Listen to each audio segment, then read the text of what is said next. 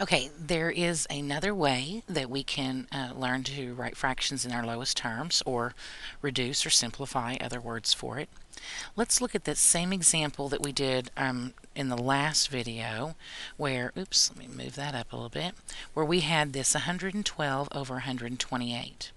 Now, we did this very slowly in the last one. We divided by 2, top and bottom, and then we had to divide by 2 again, and then again, and then again.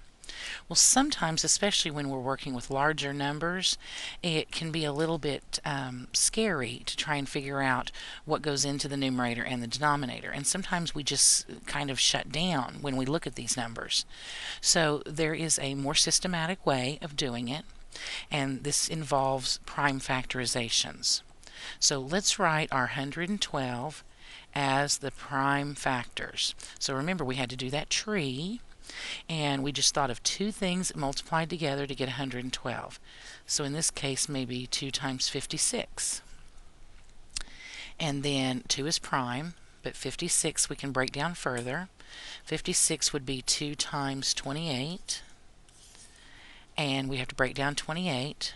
That would be 2 times 14, and 14 would be 2 times 7. Okay, so now our prime factorization would be 2 times 2 times 2 times 2 times 7. Now let's look at our um, 128. So 128 would be 2 times 64. And 64 we could break down into 8 times 8. 8 is not done. 8 could be 2 times 4 and 4 would be 2 times 2. Now again, we have this other 8 up here that we need to finish out. So 8 would be 2 times 4, and 4 would be 2 times 2. Remember, you have to keep factoring until you're down to nothing but primes. So by doing this then, we can rewrite our problem as, instead of 112, we can write as 2 times 2 times 2 times 2 times 7. And instead of 128, we can write it as 1, 2, 3, 4, 5, 6, 7 of those 2's. So 1, 2, 3, 4, 5, 6, 7 of them. We could rewrite this problem this way using only prime numbers. Now, do you remember when we were doing division? Whenever we had things like 5 over 5.